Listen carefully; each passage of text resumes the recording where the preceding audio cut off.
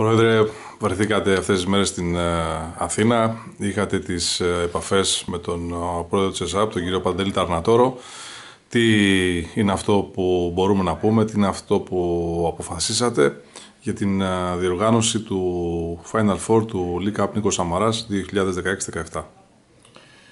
Σίγουρα η διοργάνωση του League Cup ήταν ο στόχος που θέσαμε εδώ και αρκετό καιρό με την ΕΣΑΠ και ιδιαίτερα με τον πρόεδρο, τον κύριο Παντελή Ταρνατόρο. Βρισκόμαστε πλέον στο τελευταίο στάδιο της προετοιμασίας. Επειδή υπήρξαν αμφισβητήσεις αν θα γίνει αυτή η διοργάνωση, τώρα πλέον μπορώ να δηλώσω ότι έχει οριστικοποιηθεί δεν υπάρχει τέτοιο θέμα. Για μένα πάντοτε δεν υπήρχε, ποτέ δεν υπήρξε τέτοιο θέμα. Αλλά τώρα μιλάμε πλέον για τις λεπτομέρειες της διοργάνωσης και είμαστε, θα είμαστε έτοιμοι να γίνει μια διοργάνωση a family του Champions League. Μιλήσατε και με τον ε, Υπουργό των Σπορ της ε, Κύπρου αλλά και γενικά με τις αρχές που θα εμπλακούν σε αυτή τη διοργάνωση. Ε, Πείτε μου τι έχετε αποφασίσει, τι έχετε προτιμάσει. Ε, ο πρόεδρος ε, του Κυπριακού Οργανισμού Αθλητισμού, που ουσιαστικά είναι υπουργός των σπορ, εφόσον δεν έχουμε Υπουργείο Αθλητισμού, ε, μας στηρίζει πλήρως. Και θα είναι και υπό την αιγίδα του Κυπριακού Οργανισμού Αθλητισμού η όλη διοργάνωση. Ε, από την πλευρά του Υπουργείου Δικαιοσύνης και Δημοσίας Τάξεως ε, ζητήθηκε να μην γίνει η διοργάνωση διότι φοβούνται ε, αυτά που ακούγονται, ουσιαστικά τις πληροφορίες που έρχονται από Ελλάδα ότι ε, τον κίνδυνο των επεισοδίων βασικά. Ε, εξηγήσαμε σε όλους και στην αστυνομία και στο Υπουργείο Δικαιοσύνης ότι θα ληφθούν όλα τα απαραίτητα μέτρα ώστε να είναι μια γιορτή της πετόσφαιρας και όχι ε, δημιουργία επεισοδίων ή μαγικιό στο γήπεδο. Πάμε να πούμε λίγο για τα εισιτήρια που είναι και το πιο σημαντικό και το πιο κομβικό κομμάτι για να επικοινωνηθεί κιόλας προς τον κόσμο που θέλει να βρεθεί στο γήπεδο. να ξεκινήσουμε. Ε, ένας Ελλαδίτης μπορεί να δει τους αγώνες; Ένας Ελλαδίτης κάτοικος Κύπρου, ναι. Από την υπόλοιπη Ελλάδα, όχι, δεν θα μπορεί να δει. Το, η διοργάνωση θα είναι αποκλειστικά για τους Έλληνες της Κύπρου. Πολύ ωραία. Πάμε λοιπόν. Για τους Κύπριους, πώς μπορούν να προμηθευτούν τα εισιτήρια; Μπορούν να προμηθευτούν τα, τα εισιτήρια από το διαδίκτυο. Ε, θα είμαστε έτοιμοι για την πώληση εισιτηρίων γύρω στις 10 με 11 του Ιανουαρίου ε, και οι άνθρωποι της οικογένειας του βόλεϊπολ θα μπορούν να τα προμηθευτούν από την ε, Ομοσπονδία. Μάλιστα.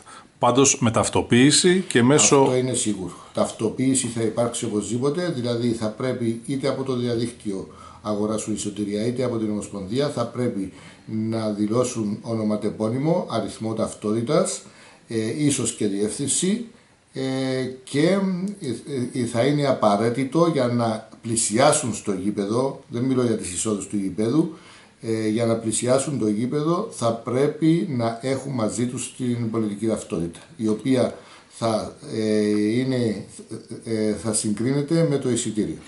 Προφανώς έχετε εμπλακεί σε όλη αυτή τη διοργάνωση για μια καλύτερη μέρα στο Κυπριακό βόλεϊ, έτσι δεν είναι; Ακριβώς. Εμείς ε, σίγουρα γνωρίζουμε πολύ καλά ότι το ελληνικό βόλεϊ είναι πολύ πιο ψηλά από το Κυπριακό. Ε, και εμείς Έλληνες είμαστε. Θέλουμε την στήριξη από την μητέρα Ελλάδα και γι' αυτό προσπαθήσαμε να, να βρούμε τρόπο έτσι ώστε να βοηθήσουμε το Κυπριακό βόλεϊ να ανέβει πιο ψηλά. Μελλοντικά, έτσι όπως το σκέφτεστε και το οραματίζεστε, θα μπορούσαμε να μιλάμε και για ένα ενιαίο πρωτάθλημα όπως στο παρελθόν έχουν γίνει κάποιες, ε, ε, κάποιες δεκαετίες πίσω βέβαια, αλλά ε, υπήρχαν. Τελευταία ομάδα που έπαιξε σε ελληνικό πρωτάθλημα ήταν η Ανόρθωση. Η Ανόρθωση, ναι. καλά, ήμουν τότε. Ε, αυτό θα ήταν το ιδανικό. Φυσικά, επειδή τώρα πάμε για λύση του Κυπριακού, ελπίζουμε να γίνει, δεν ξέρω, θα πρέπει να περιμένουμε γιατί πλέον το θέμα είναι πολιτικό. Αυτό σίγουρα θα το θέλαμε. Αλλά... Ωραία. Και πάμε να κλείσουμε με την ευχή που δίνεται και για τη διοργάνωση, αλλά γενικότερα για το 2017. Ε, βασικά για το 2017 θα ευχόμουν σε όλους ε, υγεία ε, και ευτυχία. Ε, να ευχηθώ ιδιαίτερα για το, το βόλεϊ και της Κύπρου και της Ελλάδος να ανέβει πιο ψηλά και ειδικά το ελληνικό βόλεϊ να ανέβει εκεί που του ταιριάζει. Ε, γιατί τα τελευταία χρόνια νομίζω είναι πιο κάτω από εκεί που πρέπει να είναι.